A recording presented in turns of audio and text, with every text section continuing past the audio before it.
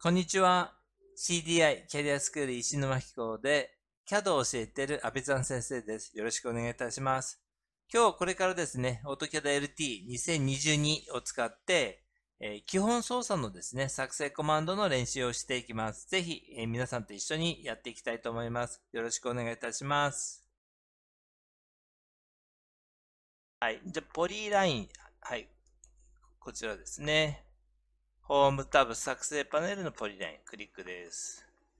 そして、最初に視点、はい、丸1の、まあ、近く、2のところでクリックです。次にですね、幅、右クリックしてください。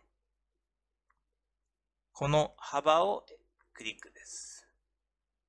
そして、視点での幅。視点での幅っていうのは、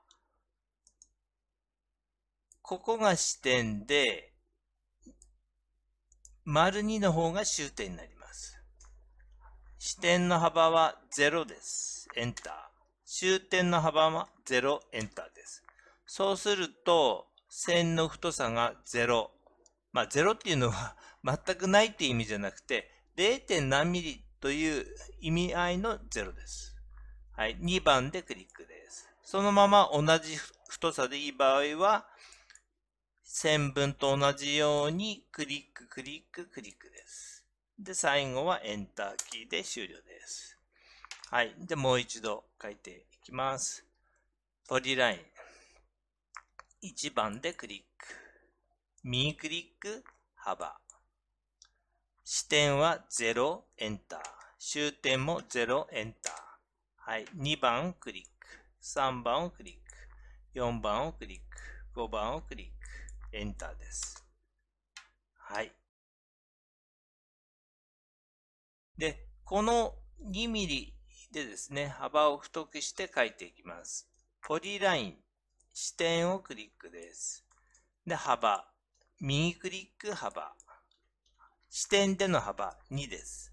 2、エンター。終点の幅、はい、2、エンター。そうすると、ね、えー、2の幅になります。2番でクリック。3番でクリック。4番でクリック。5番でクリック。そして最後のエンターキーで角がきれいになります。はい。じゃあもう一度。ポリライン。視点をクリック。右クリックして幅。2エンター。2エンター。2番でクリック。3番でクリック。4番でクリック。5番でクリック。エンターになります。